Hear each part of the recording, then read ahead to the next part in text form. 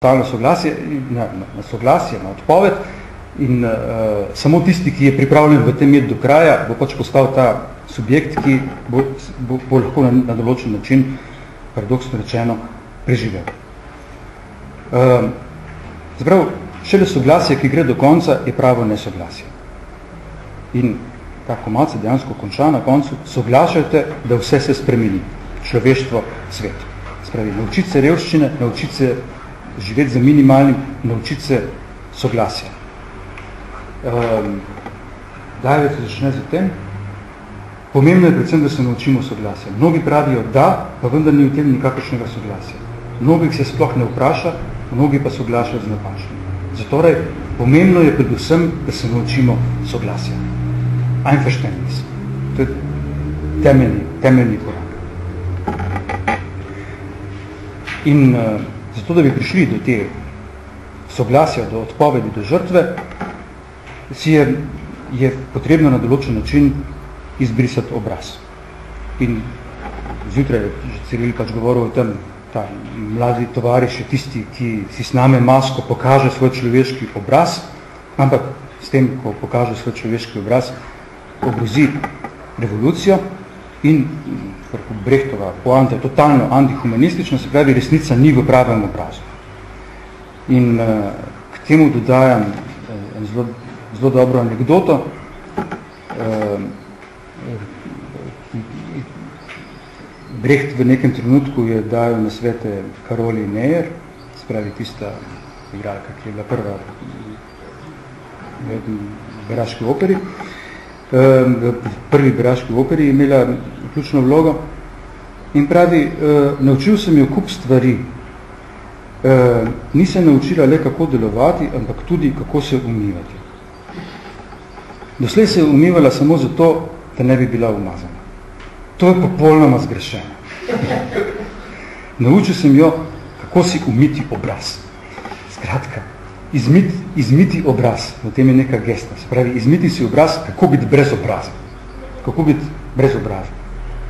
Še več, kako se naučiti, naučiti se uh, lastne ličnosti.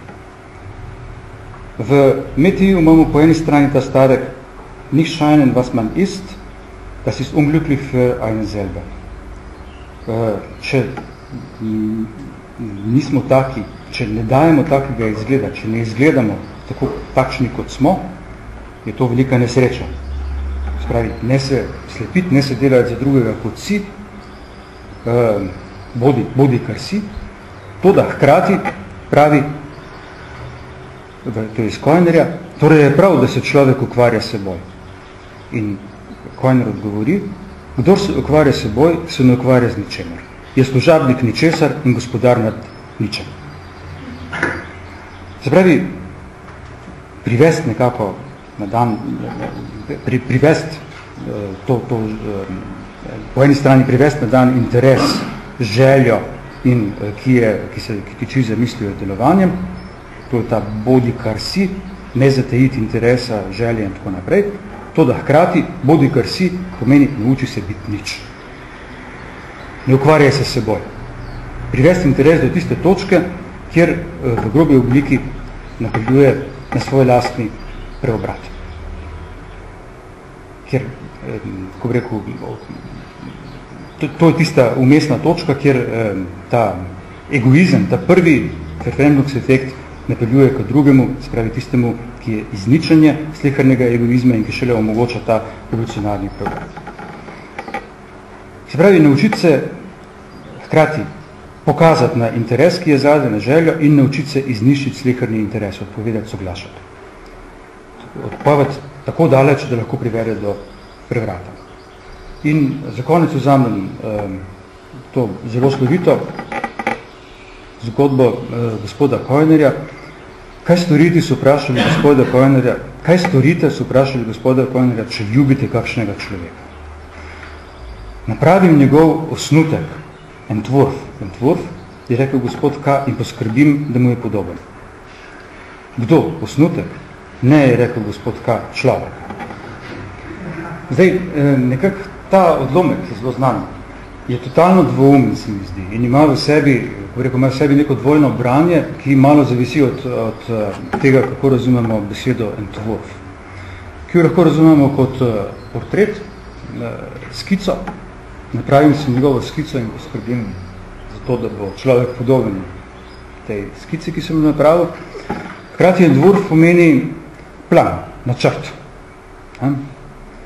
Um, spravi, po eni strani, lahko to odlomek beremo kot recimo uh, kritiko ljubezni kot nasilja, uh, kritiko tiste ljubezni, ki ne more biti izhodišče, kolikor se dela utvare, se pravi, si gradi neke podobe, fantazme, potem pa sili ljudi, da so jim podobni, se pravi, tista plat, po kateri je ljubezen teror, lahko bi rekli problem stalinizma, preveč so ljubili ljudi, preveč so hoteli, da bi bili podobni portretom.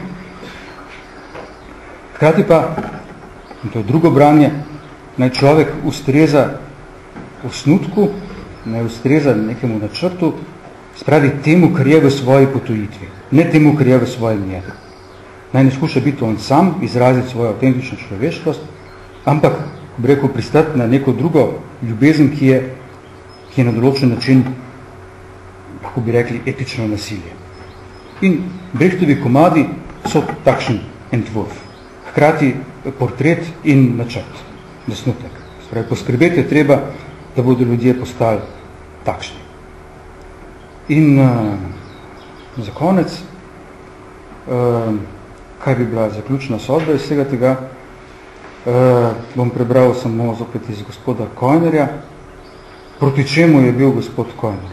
Gospod Kojner ni maral jemanja slovesa, pozdravljanja, obletnic, praznikov, ni maral dokončanja dela, niti začetka novega poglavja življenja, ne obračunov, ne maščevanja, ne abšlisende urtajle, spravi zaključnih sodb. Hvala.